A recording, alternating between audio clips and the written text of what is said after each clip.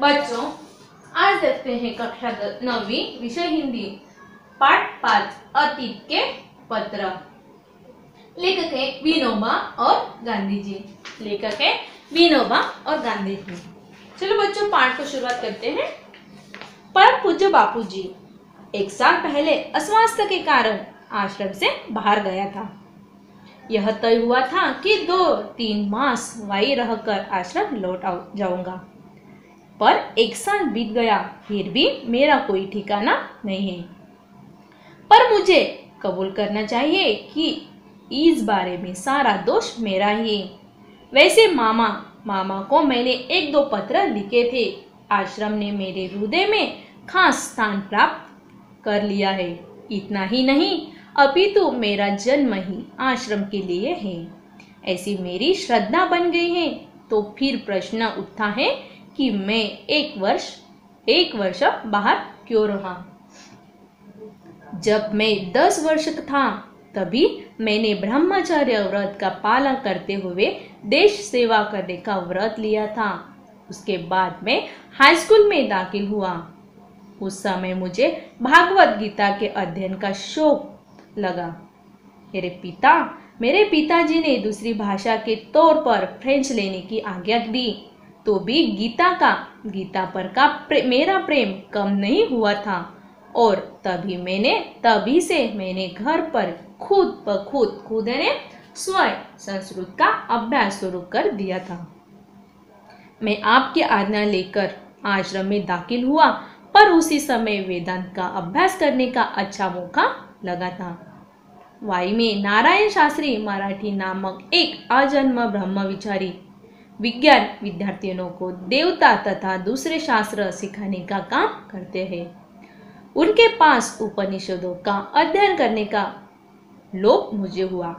इस लोक के कारण वाई में मैंने ज़्यादा समय रह गया। इतने समय मैंने क्या क्या किया यह लिखता हूँ। जिस लोक के खातिर मैं अपनी दिनों आश्रम से बाहर रहा, मेरा वह लोक और उसका कार्य नीचे लिखे अनुसार है। स्वाद के अनुसार। निमित्त पहले तो मैंने दस बारह मील घूमना शुरू किया। बाद में छह से आठ से अनाज पीसना चालू किया। आज तीन सौ नमस्कार और घूमना, यह मेरा व्यायाम है। इससे मैं स्वास्थ्य ठीक हो गया। देखो बच्चों, विनोबा परम पूज्य बापू जी ने कहा कि एक साल पहले, एक साल पहले आश्रम के बाहर गया था कि एक तो दो तीन मास वही आश्रम से वो लौट भी आया। पर एक साल बीत गया, फिर उसका कोई ठिकाना नहीं था। आश्रम तो मेरे हृदय के खास एक स्थान है। मेरा जन्म ही आश्रम के लिए है और मेरी श्रद्धा भी आश्रम के लिए बन गई है। तो फिर एक प्रश्न उठता है कि एक वर्ष को बाहर, एक वर्ष बाहर क्या करूँ? दस दस वर्ष के लिए ब्रह्मचार्य व्रत का पालन करते हुए देश सेवा करने में क्या जाता है?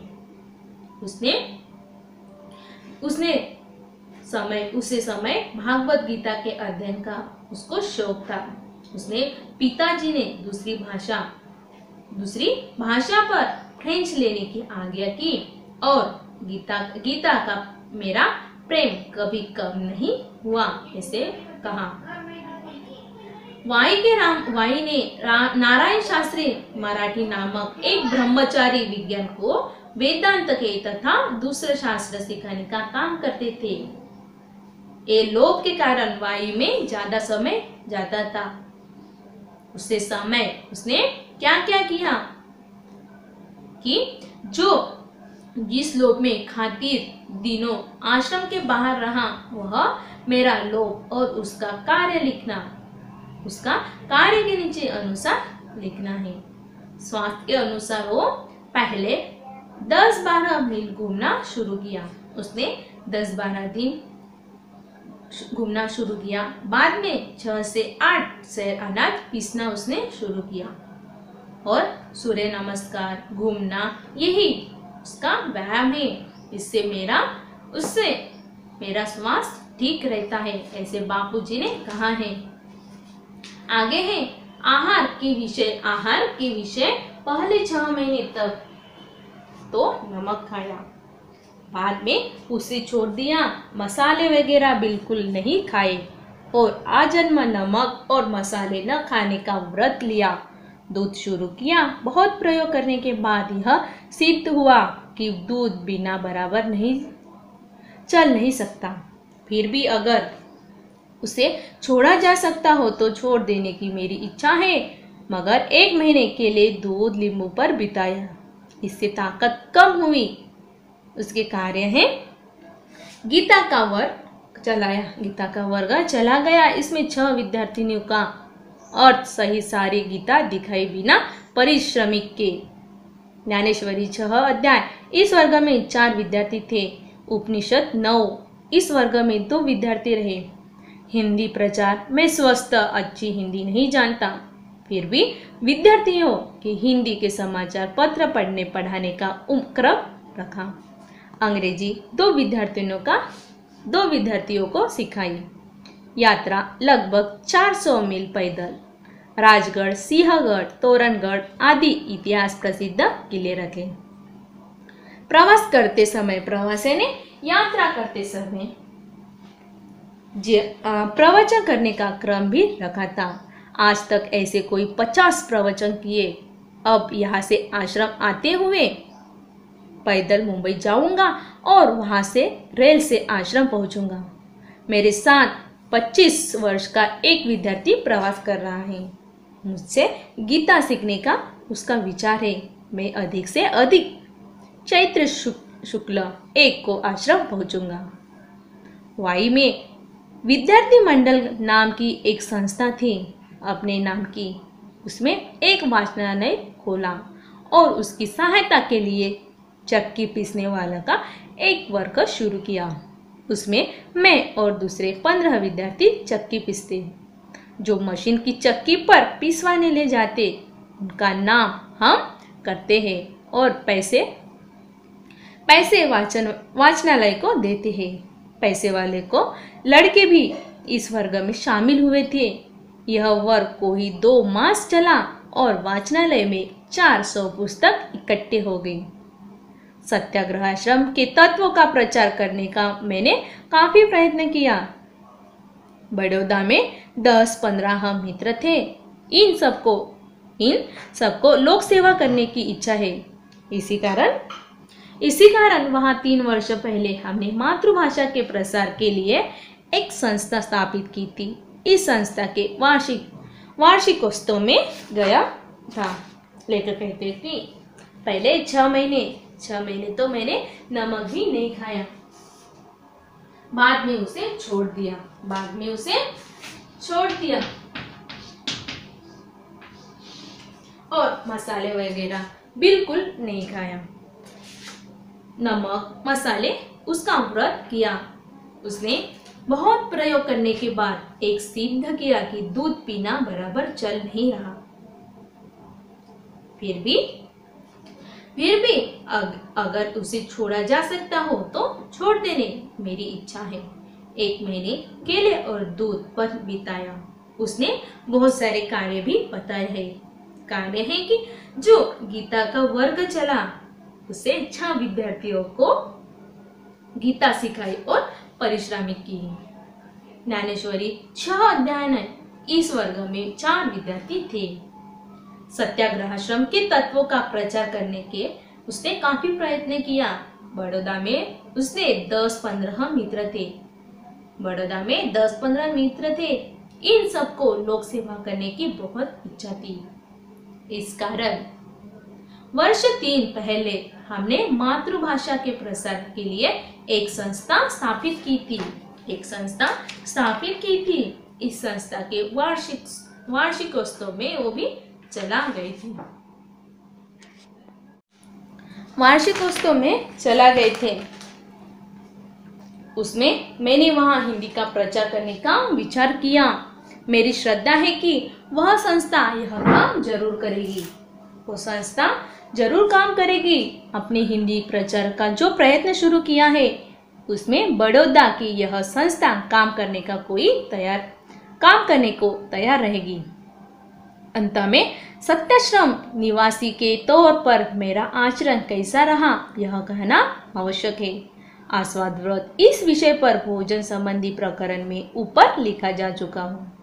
अपरिग्रह लड़की थी, अपरह लड़की की थाली कटोरी आश्रम का एक लोटा।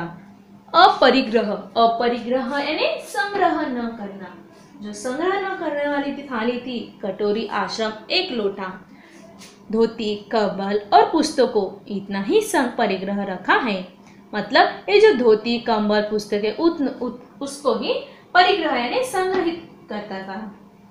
बड़ी कोट टोपी वगैरह न पहुँचने का उसने व्रत लिया है। इस कारण शरीर पर भी धोती ही ओढ़ लेता हो। करके पर बुना कपड़ा ही इस्तेमाल करता हो। स्वदेशी परदेशी का संबंध मेरे पास ही नहीं। आपके संबंध मद्रास के आख्यान के अनुसार व्यापक अर्थ न किया तो ही।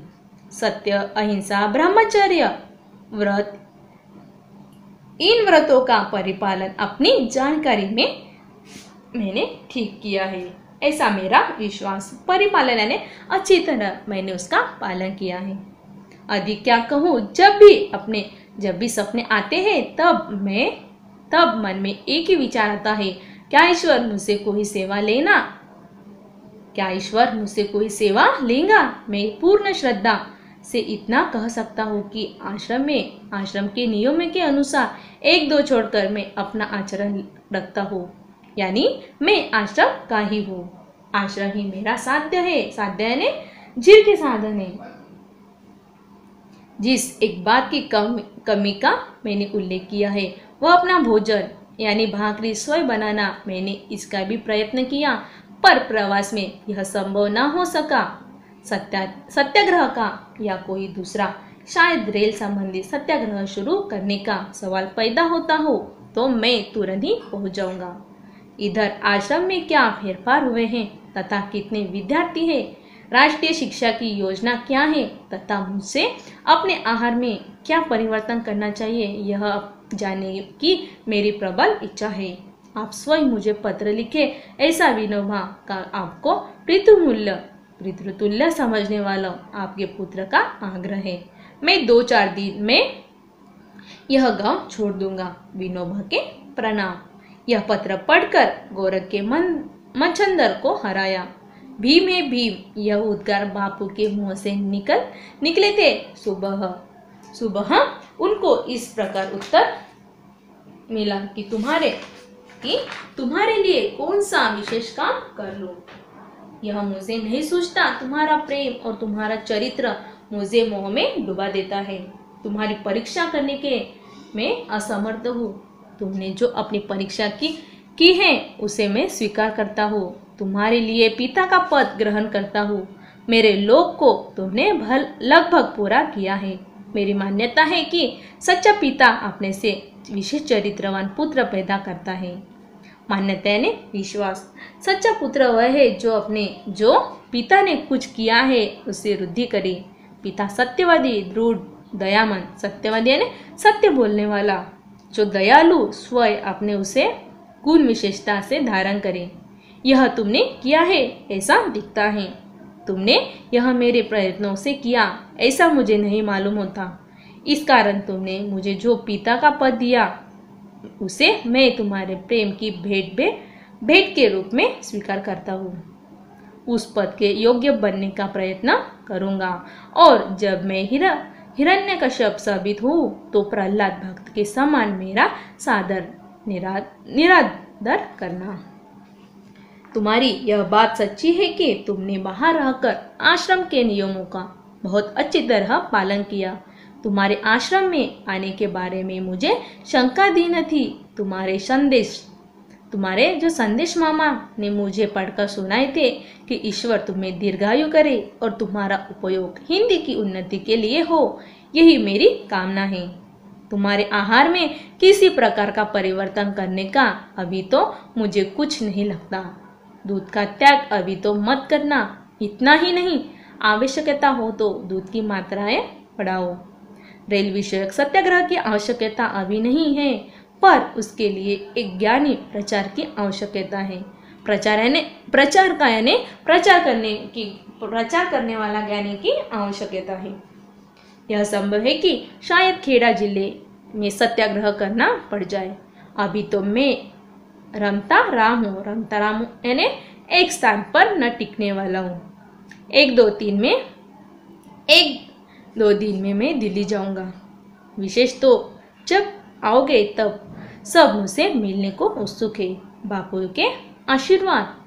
बापू में बापू में, बापू के उद्गार बहुत बड़ा मनुष्य है। मुझे अनुभव होता रहा है कि महाराष्ट्रीय और मद्रासियों के साथ मेरा अच्छा संबंध है। महाराष्ट्रीय तो मैं कैसे ही किसी ने मुझे निराश किया है नहीं, उसमें विनोबा ने तो हद कर दी। लेकिन कहा कि जो विश्व, जो वार्षिक स्तव में गया था। उसमें मैंने हिंदी प्रचार करने का विचार किया था। मेरी श्रद्धा भी थी कि ये संस्था में काम ज़रूर करूँगी। हिंदी का प्र, हिंदी का प्रचार करने का उसने प्रयत्न किया। अपरिग्रह लड़की ने मतलब संग्रह न करना जो लड़की की थाली कटोरी आश्रम में एक लोटा धोती कंबल पुस्तकें उसने संग्रहित करके रखा था। इसी कारण शरीर पर भी धोती ही ओढ़ लेता हूँ। कि सत्य, अहिंसा, ब्रह्मचर्य, इन व्रतों का परिपालन, अच्छी तरह से परिपालन करूँगा जिस एक बात की कभी ना उसने उल्लेख किया कि अपना भोजन या भाकरी स्वयं करना चाहिए। मैंने भी उसका करने का प्रयत्न किया, पर एक प्रवास में संभव नहीं हो सका। सत्याग्रह का या कोई सत्याग्रह का या कोई का सवाल पैदा होता हो तो मैं तुरंत ही पहुँच जाऊँगा। ये आश्रम में क्या फेरफार हुए? राष्ट्रीय शिक्षा की योजना क्या है? मुझे अपने आहार में क्या परिवर्तन करना चाहिए? ये आप स्वयं मुझे पत्र में लिखिए। ऐसे विनोबा ने प्रणाम किया है। और गांधी जी ने कहा कि तुम्हारे लिए कौन से काम लाओ कि तुम मुझे नहीं सोचता कि तुम्हारा ये प्रेम, तुम्हारा चरित्र मुझसे मोह में डुबा लेता है। मेरी मेरी विश्वास विश्वास है कि ये सच्चा पिता अपने विशेष चरित्रवान पुत्र को पैदा करे, पैदा करता है। ये सच्चा पुत्र है जो पिताजी ने कुछ किया, उसे, उसमें वृद्धि करे। सत्य बोलने वाला, जो दयालु, स्वयं, उसने गुण विशेषता धारण की है। तुम्हारी एक बात सच्ची है कि तुमने बाहर रहकर आश्रम के नियमों के बहुत अच्छी तरह से पालन किया है। तुम्हारे आश्रम में आने के बारे में कोई भी शंका नहीं है। तुम्हारे आहार में किसी प्रकार का परिवर्तन करने का भी मुझे कुछ नहीं लगता। इतना ही नहीं तो आवश्यकता हो तो दूध की मात्राएँ बढ़ाए बापूजी के आशीर्वाद से उसने कहा कि बापू में जो उद्गार है, मनुष्य बहुत बड़ा है। मुझे अनुभव होता है कि महाराष्ट्रीय और मुद्रा सिंह के साथ मेरा अच्छा व्यवहार है। और ये जो महाराष्ट्र है महाराष्ट्र है, किसी ने मुझे निराश किया नहीं। उससे, उसमें भी विनोबा ने तो हद कर दी। बापूजी के आशीर्वाद से हुआ है।